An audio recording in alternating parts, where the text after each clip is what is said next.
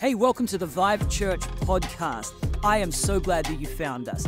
I trust that what God brings into your life today through this word is going to bless you, expand you, and grow you as a result. I pray that God equips you. I pray that God mobilizes you after hearing this word. Enjoy. We're going to open our Bibles today and come around the Word of God, and we're going to turn to Matthew chapter 16, and you're going to go to verse 24 with me, and you're going to stay standing while we just read this first part of the passage. And it says, Then Jesus told his disciples, If anyone would come after me, let him deny himself and take up his cross and follow me. For whoever would save his life will lose it, but whoever loses his life for my sake will find it. For what will it profit a man if he gains the whole world and forfeits his soul? Or what shall a man give in return for his soul? For the Son of Man is going to come with his angels in the glory of his Father, and then he will repay each person according to what he has done. Truly, I say to you, there are some standing here who will not taste death until they see the Son of Man coming in his kingdom. You know, for those of us who were here last week, and if you weren't, I want to encourage you to get the podcast. My husband preached a really powerful word about carrying your cross. And you know, so often in this life, we're taught to save ourselves, to self protect, to look after what's mine. But he taught us in that message that life is about a big spend. To be sold out for Jesus means that I spend my life, that I pour it out, that I lay it down so that Christ can use me. And today I'm just going to continue in the series in verse 25.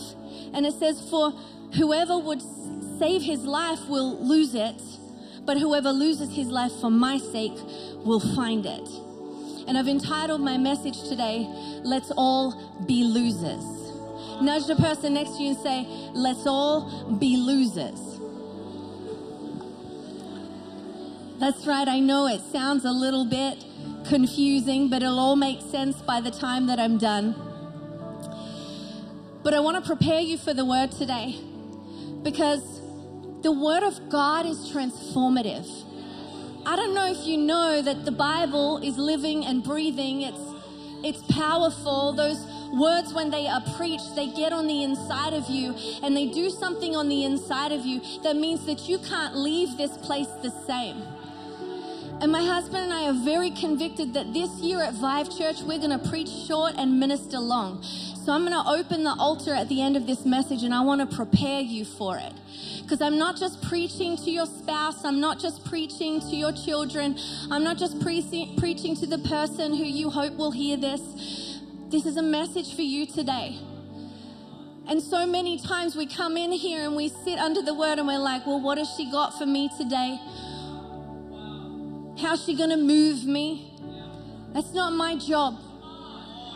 It's not my job to move you. It's not my job to have the perfect tone. It's not my job to do any of that. I just have to deliver the word of God. It's your job to steward your heart.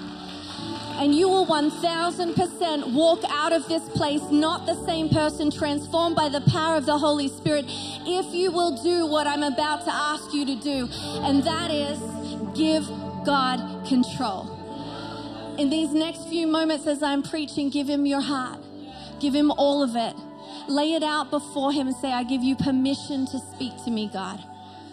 I give you permission to say what nobody else would dare to say to me. I give you permission to whisper in my ear the things that are weighing me down that I need to let go so that I can move into all that you have for me.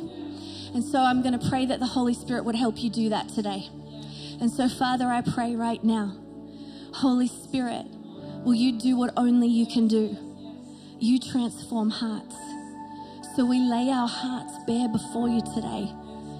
We lay every burden, every worry, every fear, everything that entangles itself up. Everything that we walked in here confused by, foggy by, not able to think correctly by. Lord God, we thank you that you are able to bring clarity in the next few moments as I bring this message and this word. By the power of your Holy Spirit, transform us in Jesus' mighty name. And everybody said, Amen. Amen. Okay, now you can take your seat. Now, I just told you earlier that I'm building a team of losers. Who's in? Wow.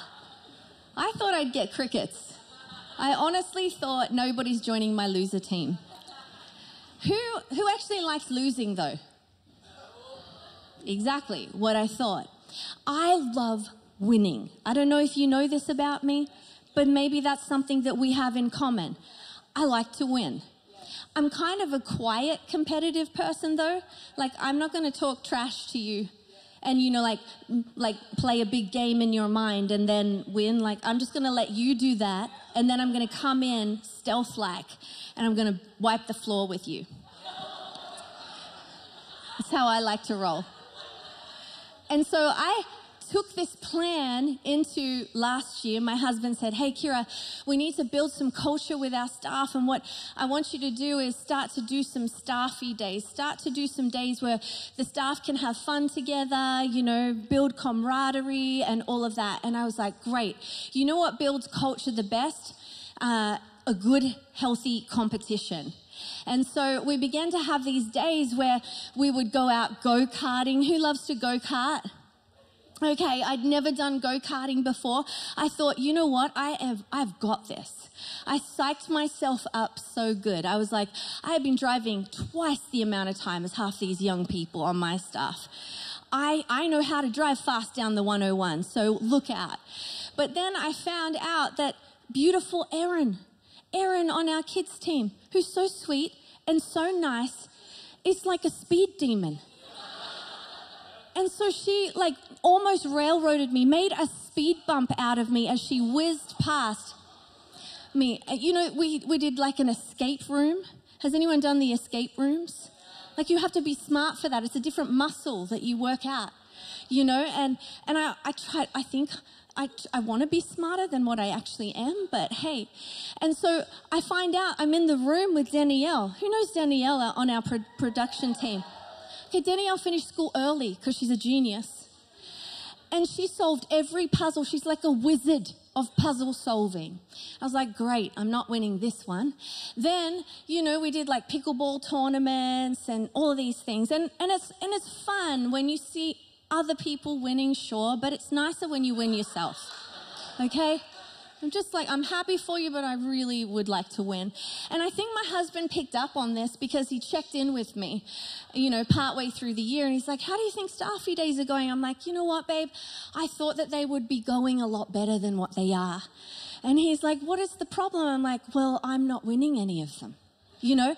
And I'm the boss and I need to lead by example and I need to show them what a winner looks like, like you, because all you do is win, win, win, no matter what. That's like the theme song to your life. You've won every staffy day that we've had. You can't relate to me. And he just looked at me because the Holy Spirit speaks through him all the time and it's so annoying. And he was like, Keira, when did staffy days become about you winning? It was about the staff winning. So in your losing, we can see that they are actually winning. It was the first moment I had an epiphany of, hey, actually, my loss can be a win for somebody else.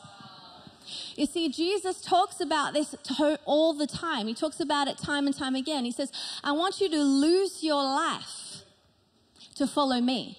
And I've always wondered, like, why would a good God want me to lose to follow him. Isn't this like the winning squad? Like, aren't we, you know, uh, shouldn't we be winning? And so, anyways, Jesus says it over and over again. I'm just going to read the Bible to you. Matthew chapter 10, verse 39. It says, If you cling to your life, you will lose it. But if you give up your life for me, you will find it. In Luke chapter 17, verse 33, he says, If you cling to your life, you will lose it. And if you let go of your life, or you let your life go, you will save it. He says also in John 12, 25, again, those who love their life in this world will lose it, but those who care nothing for their life in this world will keep it for eternity. It seems to me that according to Jesus, that if you lose your life, you will find it. And in fact, you will not just find something that you had before, but you'll find something better than what you had before.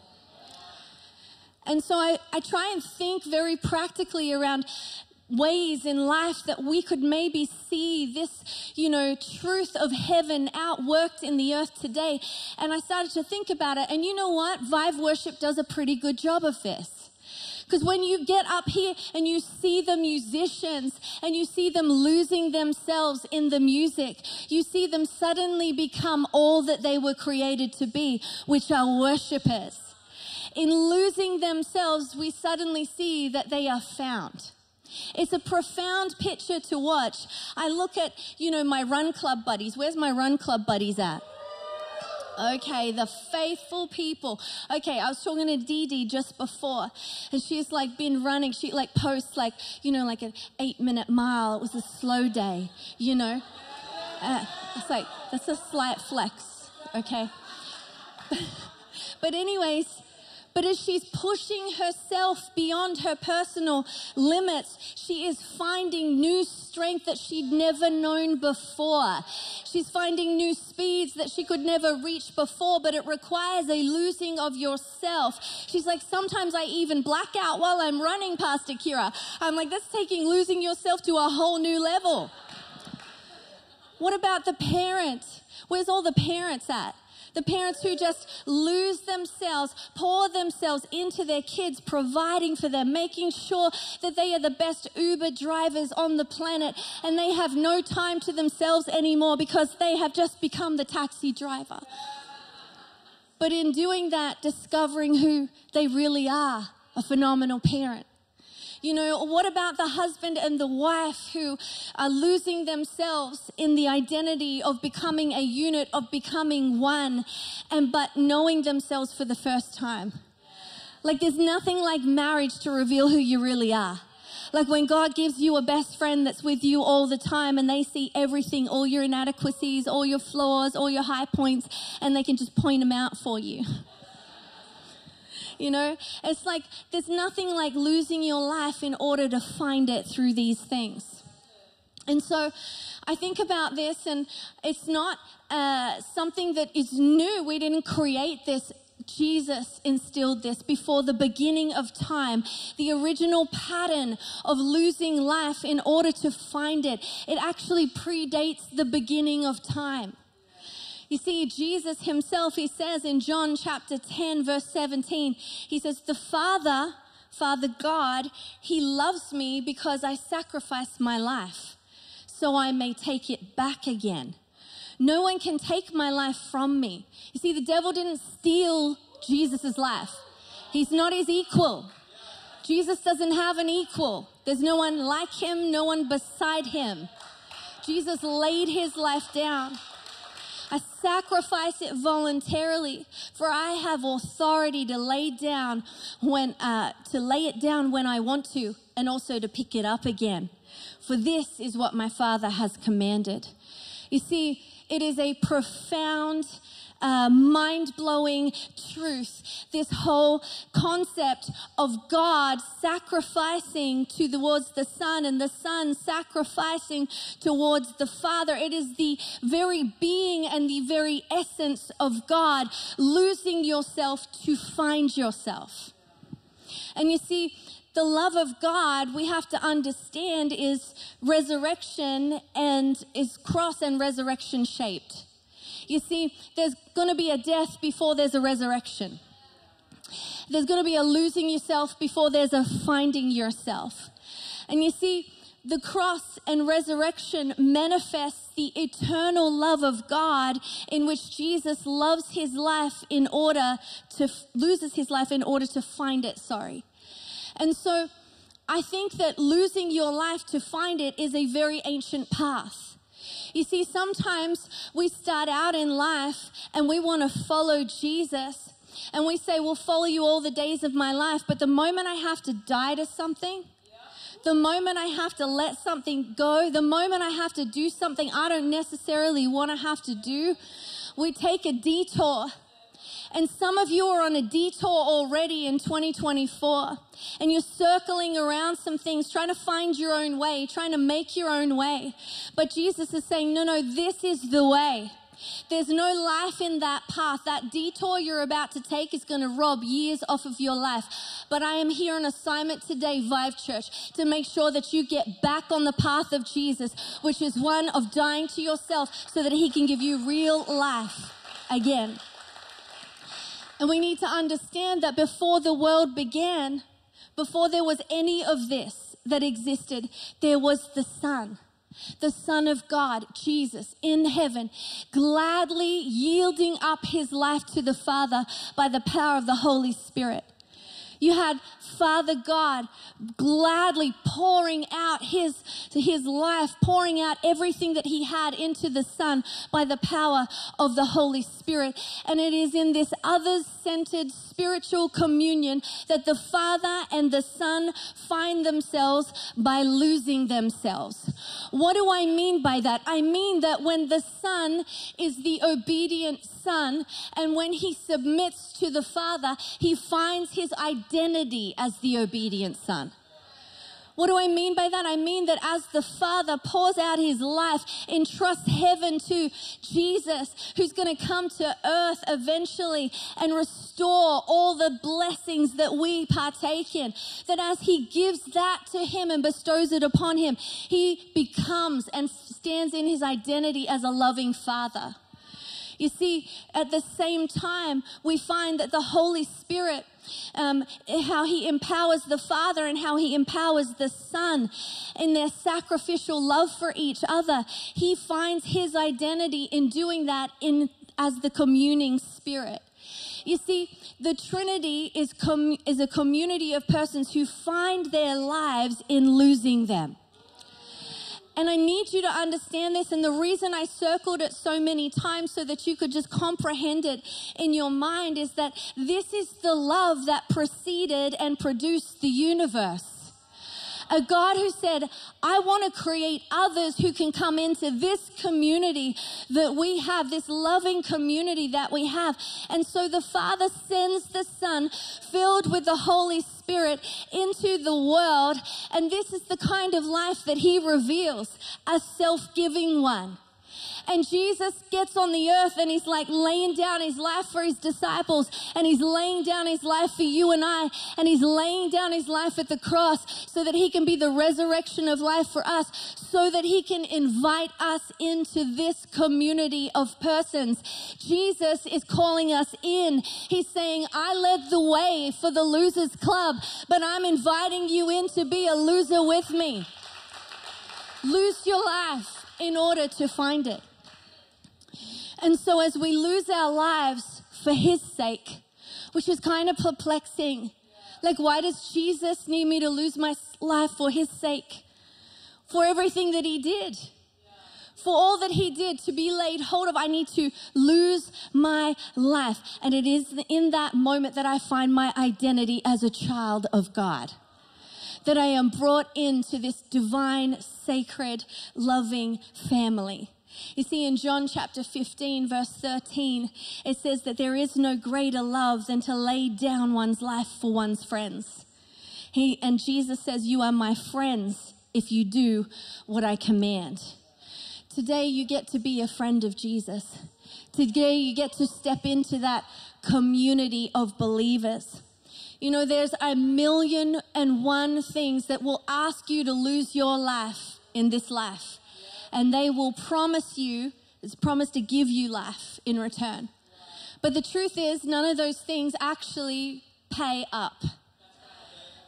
None of those things, they're all empty promises. Careers, they promise you that they will make you somebody. They promise you fulfillment. They promise you success. But at the end of the day, they just take from you. There'll be other things that are vying for your affection, success.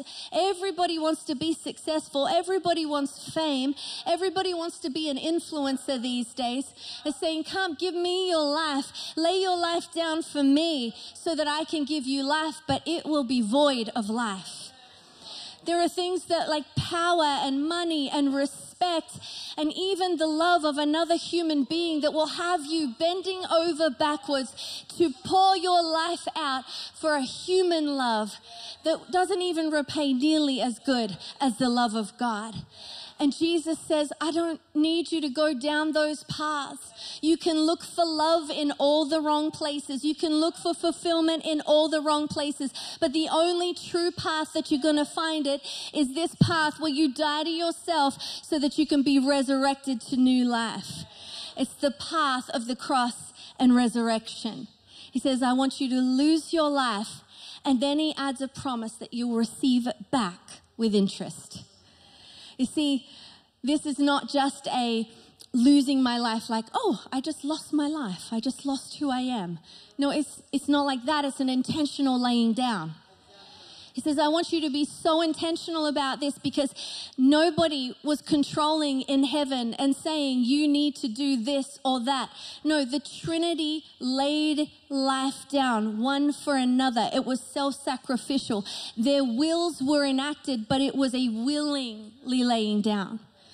And so, for God's will to be done in your life in 2024, it is going to require you to be willing because that's the true nature of the kingdom. The true nature of the kingdom is not a forced labor camp. You can't say to me, Oh, I'm sold out for Jesus, Pastor. But you know, my life is bankrupt and I'm a bit boring now and I have no fun and I'm the most depressed person in Palo Alto. No, no. It's not like I came into the kingdom and now I can't have any fun and I dress in beige and, you know, I'm, I'm like, only wear black and white and you know, life is so boring and I can't party anymore and I can't drink anymore and I can't sleep with whoever I want anymore. That's not what it is to follow Jesus. That's not the kingdom sold out. The kingdom sold out that you and I should have is one of willingly laying our lives down for Jesus. I lay all that stuff down. I lay the drugs down. I lay the alcohol down. I lay the sex down. I lay the addictions down to pick up something that is way better and way more fulfilling that this world cannot offer. It's like not even a fair trade. It's a joy to be sold out for the Lord. I willingly don't go that path. I willingly surrender my life to Christ. To be sold out is to willingly sell out of everything this life has to offer so that you can die to yourself and be raised to new life in Him. And so I want to ask you today, because there's so many things that I know you walked in here with. My husband did a great illustration last week that I'm just going to bring back a little bit of. But there's some things that you're holding on to that are yours. They don't need to be yours. They're things that you're holding onto that you need to lay down on the altar today. That you need to let go of on the altar today. They're things that can't enter your 2024 because if they enter your 2024, you're going to miss the bigness of what God has for your life. This is God's plan for your life bigger, more expansive, greater than you could ever dream, think, or imagine. And we can't lay hold of all that God has for us because we've got our hands full with things that we walked in here with that we feel like we can't let go. But I'm here to give you permission today that we are going to have some ministry and you're going to be able to lay some things down on the altar here today and leave them before the Lord. They're not going to follow you into your 2024. They're going to die at the altar today. You're going to leave them at the altar today. You see, for some of you, it's like a mindset. It's a, a mindset that God wants to break you out of. There's like a worldview or there's a perception or a perspective that you have of yourself that is so limited. It's going to shrink your growth in the kingdom. You're never going to become all that you were created to be if you keep holding on to this thing. You have to leave that thing at the altar. You're going to have to drop that thing so that you can run after the big plans that God has for your life. You don't need to be falsely humble in the kingdom. You can have a true humility. You can understand whose you are. So, therefore, who you are. And you can be more than a conqueror in Jesus' name. You don't need to frame up 2024 in fear and limitation and worry and concern. Someone's going to lay that down today. Some of you need to lay down your past today. Your past has been preventing you from entering your future. You're so hung up on what was, on what they did, on what you did, on what didn't happen, on what could have happened, that you're still living in the past. And every day you wake up and you bring the past into your new day. You know, one of our Vox Gen students are kind of prophetic. They made a sticker. My daughter gave it to me. I stuck it on my laptop immediately. It says, Look forward. Don't look back. Too many of us are looking back. We're looking in the rear view mirror of our life when we have a big Tesla front screen where you get even more air to, to look up and see the sky and see the expanse of all that God has got for your life. You're going to have to lay down the past, lay down that past relationship, lay down that thing that keeps pulling you back and stopping you from entering in to all that God of you have got to lay down your mistakes. There's forgiveness in Jesus' name. Stop crucifying yourself for what Jesus has already crucified on the cross so that you can be set free. Some of you, you're going to like lay down offense today. Let me tell you, I hate offense. Offense is the main reason people leave the church. It's the main reason they get out of community. Offense. Oh, but they hurt me. Oh, but you don't know what they did to me. You don't know what they said to me. God does. Let it go. Let the offense go. Don't let the offense be the thing that stands between you and the amazing call of God in your life and maybe even your salvation because you've walked out on community, you've walked out on church, you've walked out on people because someone offended you. Listen, when you're in community, people are always going to offend you. You have to be good at getting rid of offense. Oh, Jesus says, Whoa, offenses will come. Not they might come. No, they're going to come every day, and they're going to come faster and harder in 2024. So you better just be good at body blocking them and kicking them off and saying, you know what? I'm not going to have an offendable spirit. I'm going to have a spirit of joy. I'm going to be happy even if everyone hates me. I feel so liberated right now. Some of you are going to lay down your excuses. Oh, I'm in a new place and I'm in a new setting and I don't have many friends. Let me tell you, when I first moved to America, there was that three month bracket. I didn't know hardly anybody, and you only have a present with people, you don't have a past. It was probably one of the loneliest times of my life. My family had forgotten about me. They got on with their life and their routines. And you're still here in this new place. And some of you are in this church and you're around this community, but you haven't locked in yet because you're still thinking about who you were in the last season or who you were at your other church or who you were in that other setting, and you haven't given yourself permission to let go of what was so that you can come into what God has. Because He's got way more for you. Maybe He's going to use you in ways you've never been used before. There's an anointing on that laying down today. And look, honestly, sometimes we have to get good at doing a daily surrender of laying down good things for better things. You know, what you've got might be good. Maybe you can read the word pretty good, but maybe God wants you to do it great. Maybe you can, maybe your marriage is pretty good Maybe you love each other and you got married and there's intimacy and it's just about you two and it's really cute and you come to church every Sunday together and you sit all in your pew nice and neat.